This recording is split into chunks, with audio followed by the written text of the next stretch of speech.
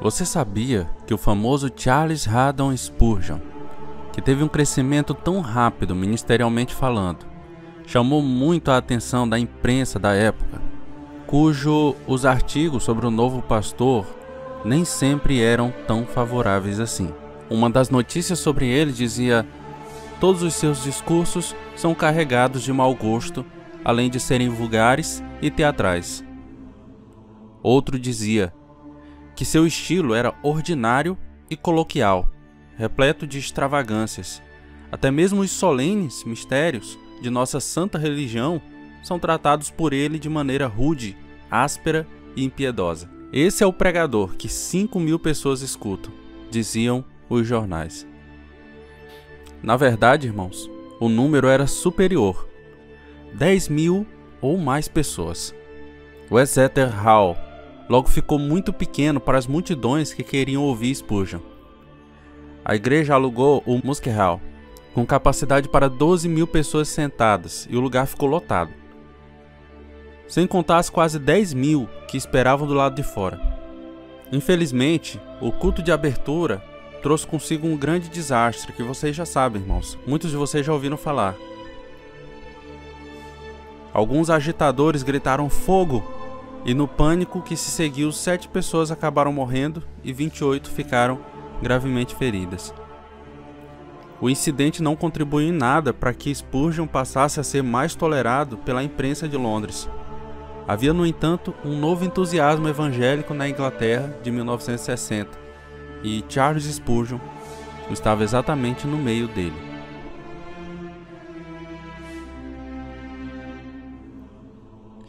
Spurgeon dificilmente seria o tipo apropriado para uma sociedade londrina claramente dividida em classes. Nascido em uma família de huguenotes em uma área rural de Essex, viveu com seus avós quando criança porque seus pais eram muito pobres para cuidar dele. Seu avô e seu pai eram ministros congregacionais, mas Charles frequentou uma escola agrícola, ainda que por apenas alguns meses. Lutando com as necessidades de sua alma, Spurgeon decidiu ir à igreja no domingo de 1850. Uma nevasca impediu que fosse até a igreja que ele pretendia frequentar, mas terminou indo a uma capela mais próxima da sua casa, uma espécie de metodista primitiva. O orador era ignorante, como disse o próprio Charles Spurgeon depois, mas lançou um desafio direto a Charles. Como resultado, Spurgeon acabou se convertendo e se tornou um cristão aos 16 anos de idade.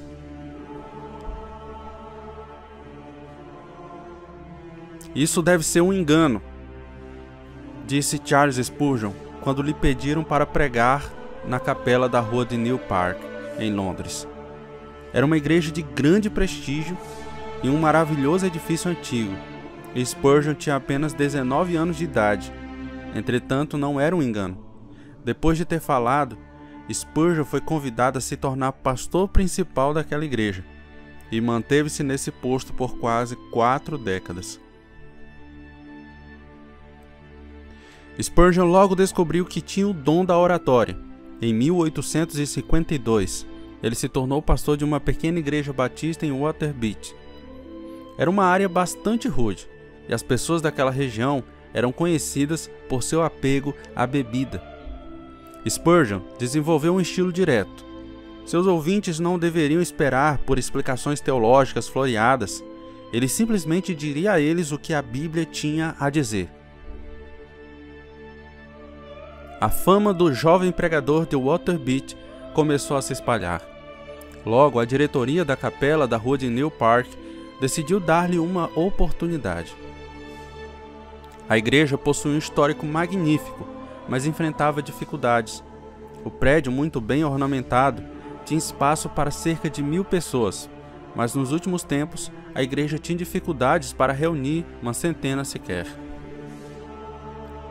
Cerca de 80 pessoas compareceram ao primeiro culto de Spurgeon que nós falamos agora há pouco.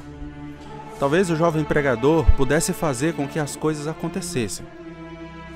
E ele acabou fazendo mesmo. Seu estilo direto, fez com que o povo londrino acordasse. a audiência da igreja cresceu muito rapidamente. Não demorou muito para que aquele grande templo ficasse lotado. A igreja precisou alugar o Asset Hall, um teatro com capacidade para 4.500 pessoas. Havia, no entanto, irmãos, um novo entusiasmo evangélico na Inglaterra de 1860. Os historiadores chamaram esse episódio de Segundo Avivamento Evangélico. Outros pregadores também atraíam multidões, e em 1861, a capela da rua de New Park concluiu a construção de um novo edifício, o Tabernáculo Metropolitano. Tenho certeza que você já ouviu esse nome. Com capacidade para 6 mil pessoas. O ministério de Spurgeon apenas começava. Publicou seus sermões, assim como comentários e livros devocionais, totalizando 140 livros. Fundou um seminário para pastores e o orfanato de Stockwell, que cuidava de 500 crianças. Tornou-se presidente de uma sociedade para a distribuição da Bíblia. Ele pregava em todos os lugares, sempre que lhe era dada a oportunidade. O estilo de Spurgeon pode ter sido direto e simples, mas não era relaxado com relação à teologia. Ele era um batista de convicção calvinista. De certa maneira, essa mistura de tradições ajudou as duas alas. Trouxe a estrutura do calvinismo, a religião das classes mais simples e ofereceu a sinceridade da fé batista às igrejas das classes mais abastadas. Seu dom era o da comunicação. Ao ler seus trabalhos, podemos encontrar um poder moderno neles. Lembre-se de que ele viveu em uma época na qual se prezava muito o estilo. O que você dizia normalmente não era nem de perto tão importante quanto a forma como você falava. Spurgeon, no entanto, não tinha tempo para expressões refinadas e para enfeites na fala. Ele empregava fortes imagens na linguagem e escolhia verbos que enfatizassem suas ideias. Ao fazer isso, estabeleceu um exemplo para os pregadores futuros. Os trabalhos escritos desse príncipe dos pregadores, como é conhecido, continuam nos catálogos de várias editoras nos dias atuais, pois ainda são muito admirados.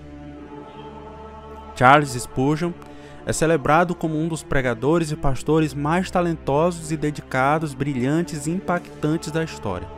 Essa honrosa distinção lhe é dada em grande parte devido aos seus sermões bem articulados, penetrantes, cristocêntricos e fundamentados na palavra que foram ouvidos e são lidos por milhares de pessoas em todo o mundo. Devido à popularidade que Spurgeon alcançou em seu ministério, sua fidelidade como um jovem pastor é frequentemente ignorada. Spurgeon estava em Londres há pouco mais de 12 meses quando uma severa epidemia de cólera arrasou Londres. Spurgeon narra seu esforço para visitar e cuidar do grande número de doentes em meio àquelas condições horríveis. O dia todo e algumas vezes a noite toda eu fui de casa em casa e vi homens e mulheres morrendo, e quão felizes ficavam ao ver o meu rosto, disse o jovem pastor. Enquanto muitos temiam entrar em suas casas pelo risco de contrair a doença mortal, nós, que não tememos tal coisas, ficamos felizes por sermos ouvidos quando falávamos de Cristo e de assuntos divinos. Que exemplo extraordinário de um jovem inexperiente pastor que temia mais a Deus do que a doença contagiosa. Que modelo para cada um de nós de cuidado sacrificial que Spurgeon ofereceu sobre grande risco, porque ele sabia do fruto espiritual que poderia brotar somente ao lado do leito de um homem à beira da morte. Seu dom para pregar era evidente a todos que o ouviam, o que demandava muito do seu tempo. Contudo, Spurgeon colocava todas essas oportunidades de lado, como ele explica. Durante aquela epidemia de cólera, embora tivesse muitos compromissos no interior, eu abri mão deles para que pudesse permanecer em Londres para visitar os doentes e os que estavam morrendo. As demandas na vida de Charles Spurgeon, mesmo aos 20 anos, eram grandes, possivelmente maiores que as demandas que a maioria de nós que vivemos nas culturas mais atarefadas da história enfrentamos.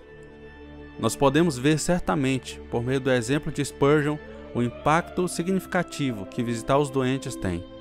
Contudo, O sacrifício que Spurgeon fez de tornar essa tarefa divina uma prioridade é possivelmente o ponto mais aplicável desse relato.